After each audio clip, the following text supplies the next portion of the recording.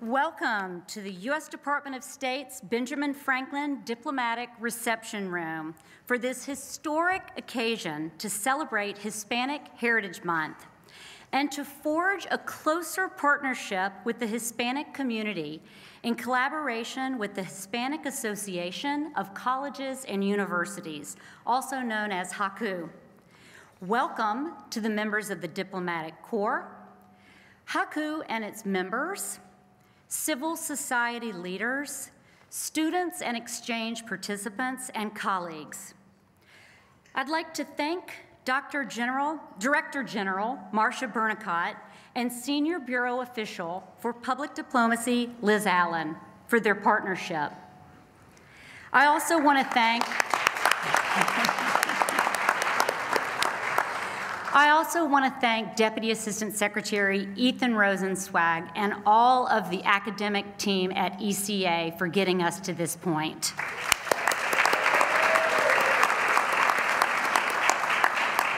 I want to take a moment to recognize the Department's Hispanic Employee Council, a foreign affairs agency, which is celebrating its 40th anniversary this year. I'm pleased to be joined on stage with Dr. Antonio Flores, President of HACU, two of our outstanding department employees, Josue Barrera and Susana Guzman, and of course, our Secretary of State, Antony Blinken. I'm Lee Satterfield, the Assistant Secretary of State for Educational and Cultural Affairs. Tonight's ceremony signifies much more than a signing ceremony. Tonight we celebrate the priority that Secretary Blinken places on diversity, equity, inclusion, and accessibility. The State Department is elevating the Biden administration's engagement with the Hispanic community by signing this important MOU with HACU. The first time it's been signed by a Secretary of State in two decades.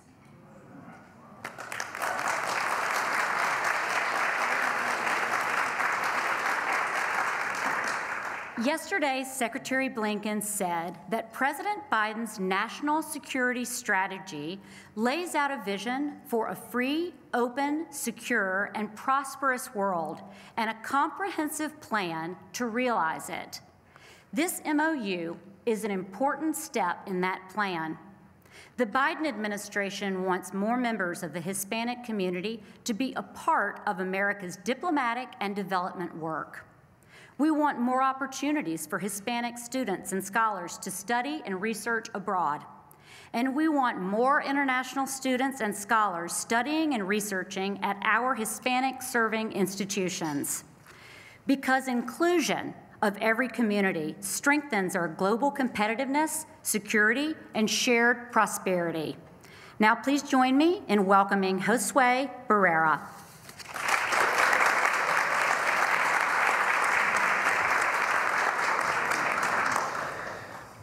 Buenas noches. It's my favorite part of any Hispanic event. my name is Josue Manuel Barrera, if you can try saying that too. My my HACU story started 16 years ago. I was a second year graduate student and teaching assistant studying public policy at the University of Texas, Rio Grande Valley, an overwhelmingly Hispanic serving institution, recognized now for its positive impact in social mobility. I helped coordinate the visit of a HACU representative to the university, and by the end of the visit, I added my name to the list of students interested in gaining experience at the federal level. Several months passed, and I didn't give it much thought, and then a phone call. The HACU representative on the other end of the line asked if I was interested in spending a semester in DC. If so, I had two days to decide and two weeks to prepare. So I sold my very cool 1988 Nissan Pathfinder, bought some horribly ill fitting suits, and hopped on a plane to DC. When I called to let my mother know, I landed and everything was okay. And the first thing she asked was, ¿Cuándo regresas? when are you coming back? to this day, I call, and the first thing she asks is, When are you coming back? The phone call, back to the story, opened the doors for me to enter public service at the State Department and the opportunity to contribute to our nation in unique and meaningful ways. In the Bureau of Public Affairs, I see my first supervisor here, Western Hemisphere Affairs, Educational and Cultural Affairs, wow, call, and now Global Talent Management. In 2019, just before the pandemic hit and the national dialogue on race escalated, my team began the effort to institutionalize what's now the Secretary's Office of Diversity and Inclusion. And I just returned to the department a few weeks ago after spending a year studying national security strategy with senior military officials. My current focus is another of the Secretary's priorities, working to develop the department's first ever strategic plan for retention. I will forever be grateful for that HACU phone call and the path it has led to. It's a call that I hope HACU can continue making for many students in the years to come. Now, he may not have been the person who made the call, but I know it was the work of the individual whom I'm about to introduce that made it possible. Since 1996, he has been the driving force in building HACU into clarion call, effectively serving our nation's Hispanic serving institutions and positively affecting the education, careers, and lives of millions of Hispanic students throughout the United States. Dr. Flores is a master architect and team builder within HACU, throughout the HSI community, across government, business and industry, and throughout U.S. society. I, for one, am most pleased that the department is continuing its collaboration with HACU. It's my pleasure to introduce to you President and CEO of the Hispanic Association of Colleges and Universities, Dr. Antonio Flores.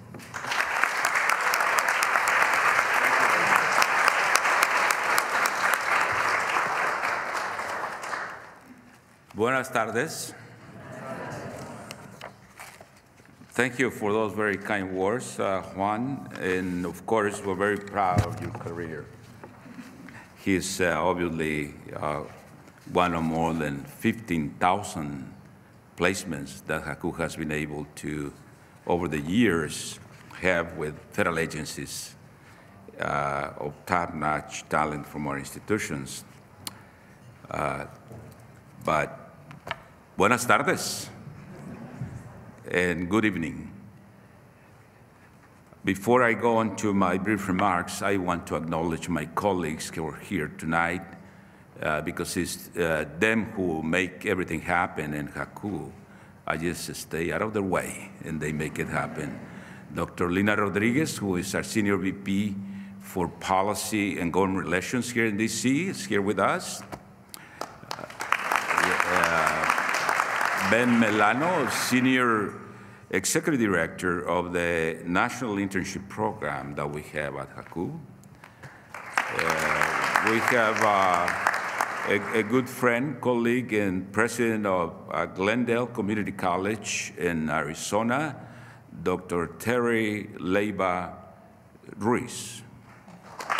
And Norma Jean Garcia, who is our Executive Director of Communications in San Antonio. Uh, thank you all for helping. Uh, Secretary Blinken, Assistant Secretary Satterfield,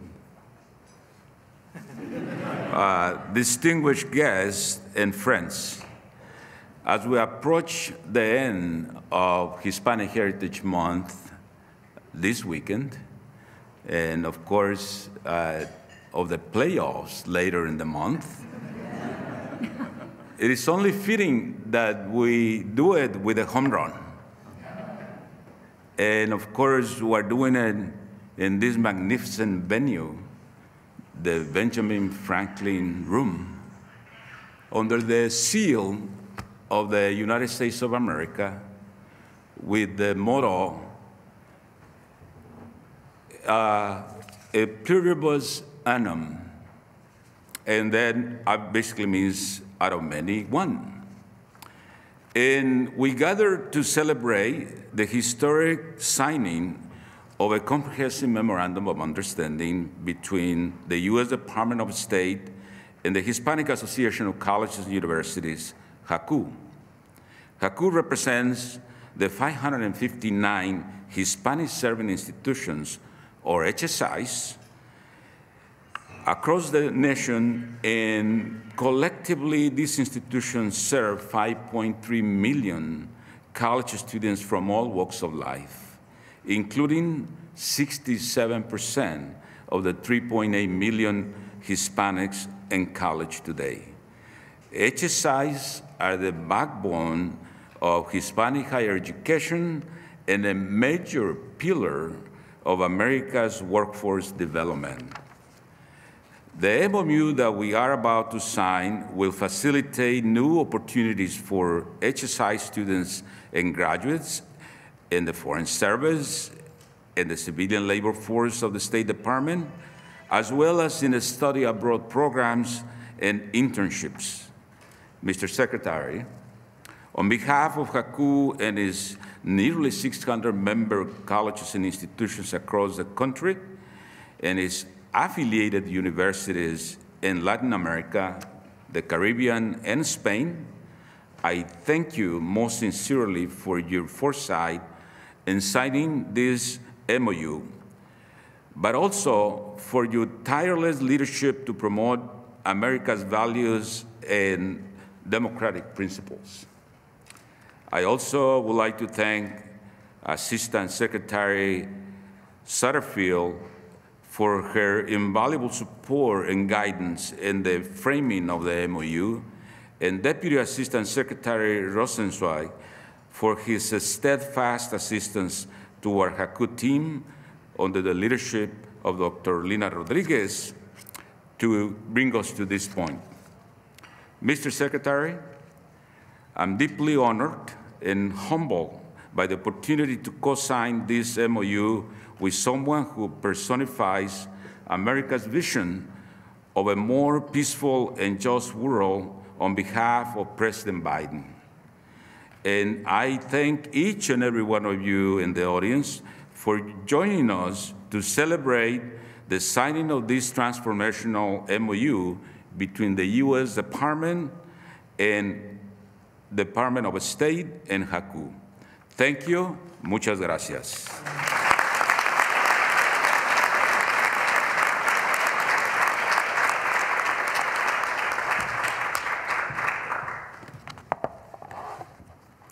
Buenas a todos. It is an absolute honor to celebrate Hispanic Heritage Month with all of you who care deeply about equal opportunity and work hard to support the Hispanic community. I am Susana Guzman.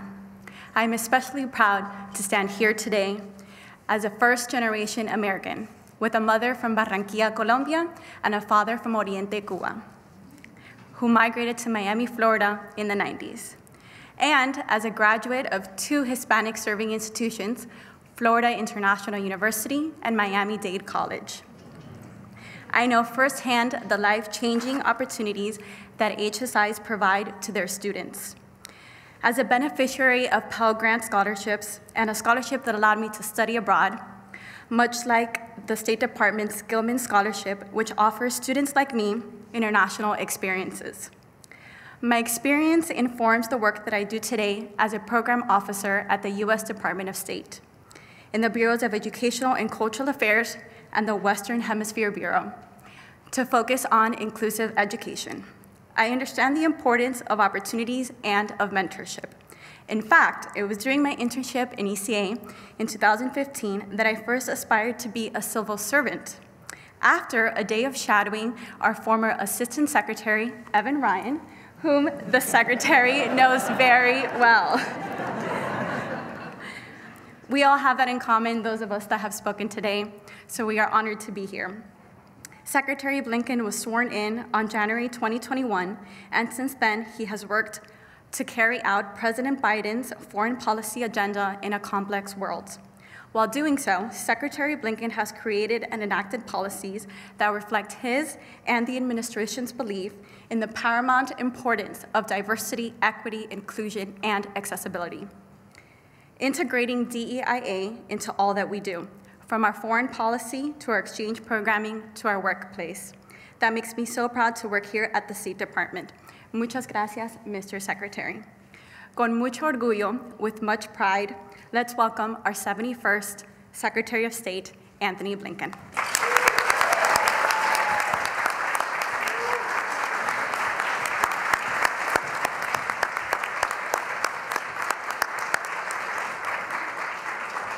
Well, good evening, everyone. Buenos tardes. Welcome, welcome, welcome to the State Department. Welcome to the Benjamin Franklin Room. He's gazing at us right now. Um, I like to remind people that Benjamin Franklin was our first diplomat. Uh, he signed our first treaty. He charted the Gulf Stream. He helped pioneer electricity. He gave us our ethos of self government.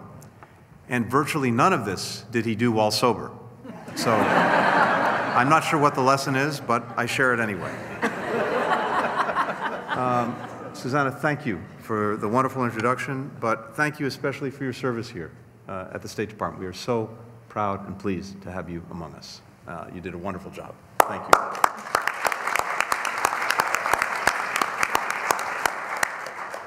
And Dr. Flores, my thanks to you for your partnership and for your leadership of the Hispanic Association of Colleges and Universities. Um, I want to recognize also those at the State Department who have helped support and grow this partnership, including members of our employee affinity group, the Hispanic Employee Council of Foreign Affairs Agencies. Thank you.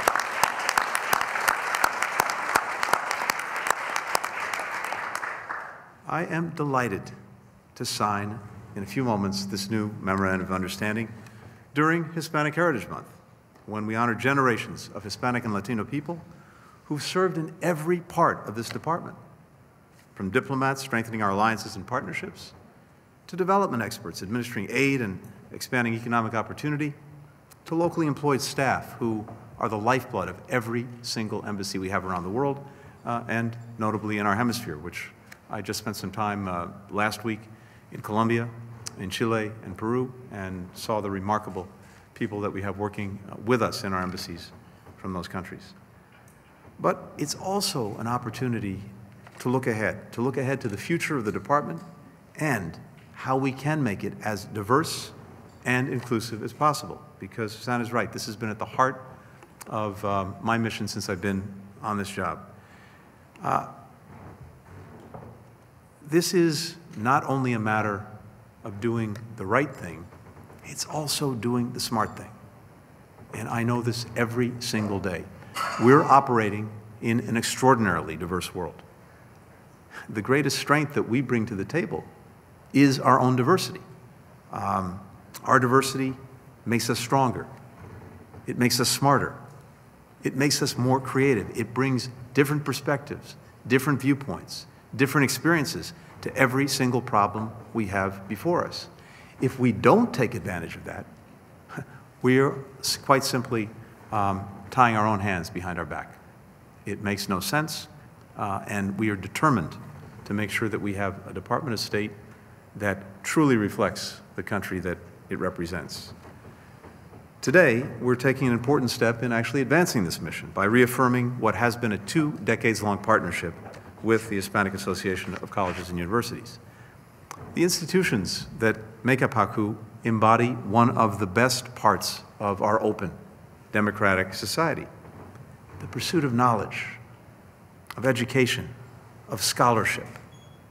Hispanic colleges and universities are home to researchers working to solve some of the most pressing challenges of our time that are going to affect the lives of millions of people, like developing innovative methods for removing carbon dioxide from atmosphere, finding new treatments for cancer.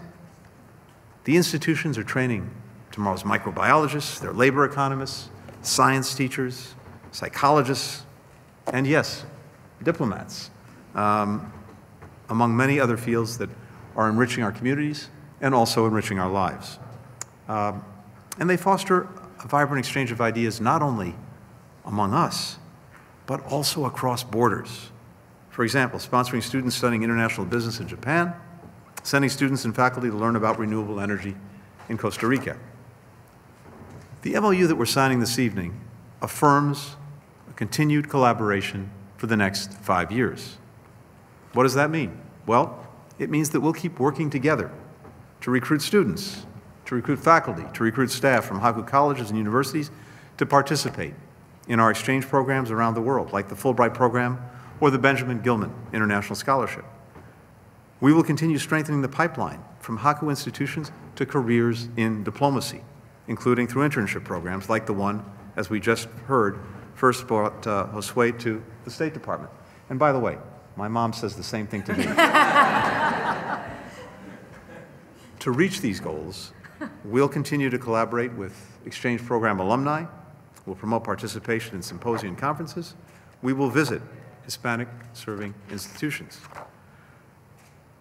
If you look at it, there is real progress to show for our efforts over the last 20 years, both within this department and beyond it.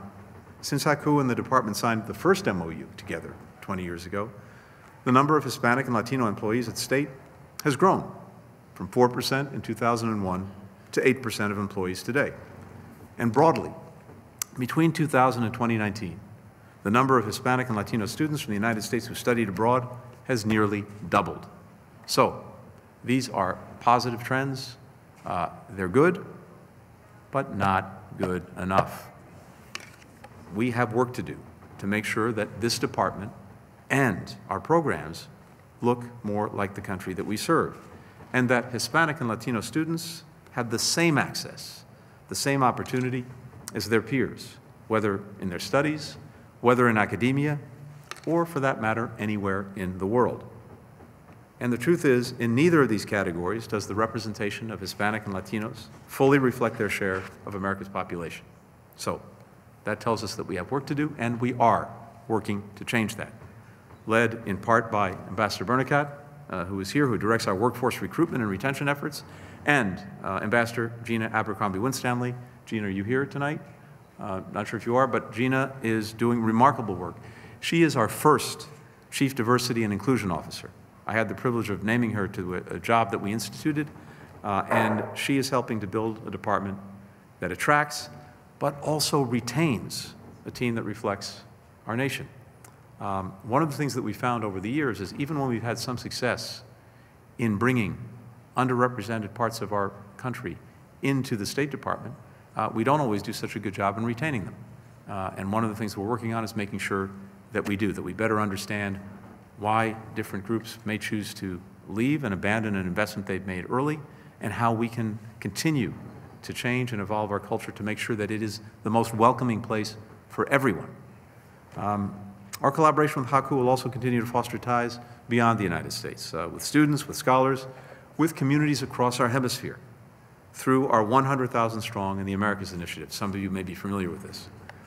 Uh, with this initiative, the State Department is working to expand study abroad opportunities for students across the Americas so that we can build stronger ties between our nations uh, and spur inclusive economic growth for the entire region, from the bottom up and the middle out. One way we're doing this is by offering grants to universities to help them develop their own exchange programs. Um, HACU institutions have been some of our biggest partners in this effort. If you go back to 2014, one third of the grants that the State Department's 100,000 Strong in the Americas Innovation Fund has awarded have gone to teams that include at least one HACU institution. Uh, with these grants, Hispanic serving institutions have forged strategic partnerships and relationships with partners across the Americas, hosted students from across the Western Hemisphere here in the United States. For the participants, the ties that are formed with our nation through individual friendships, through areas of research, uh, cultural and community connections, what we've seen is they often last a lifetime. And in many ways, nothing better benefits our foreign policy and our place in the world than these relationships. These lasting connections, the affinities that they create, the understanding that they help to deepen, these matter. Uh, and one thing that's always fascinated me, and Assistant Secretary Satterfield, who's leading our efforts, knows this very well. If you go back and look at the history of our exchange programs, in bringing students, uh, young scholars, other uh, young people uh, from abroad to the United States, including from the Americas, what we found is this. We have a pretty good track record in identifying people who are going to go on and play incredibly meaningful roles uh, in their own countries uh, and in their societies. Through the history of our exchange programs, we've had more than 52 people who went on to win Nobel Prizes, 400 or so who became the presidents or prime ministers of their countries, thousands who became leaders in academia, uh, research, the sciences, culture. Um, And when you're building relationships with an extraordinary group of people at a young age, and they develop a real connection with the United States, there are few things that matter more in actually building uh, very positive partnerships for people who are going to be leaders in their, their country. So this really matters to our foreign policy. It matters to our place in the world. So,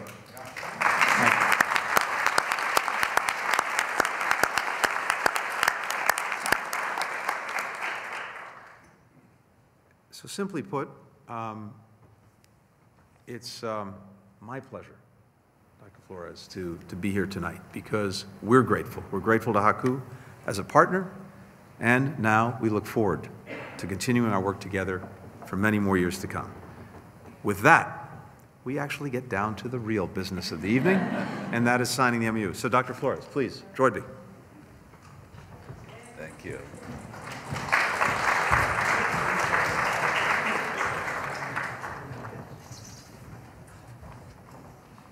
It's going to be witnessed.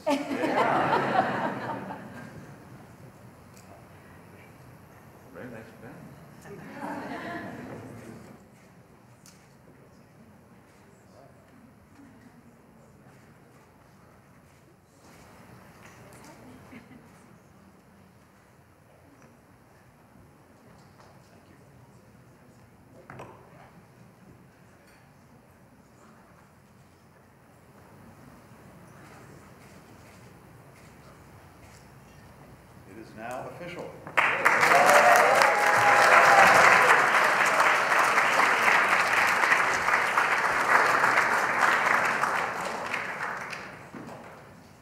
Thank you so much, and this concludes our program. Please enjoy your time this evening in the historic diplomatic reception rooms where so much history, including tonight, has taken place.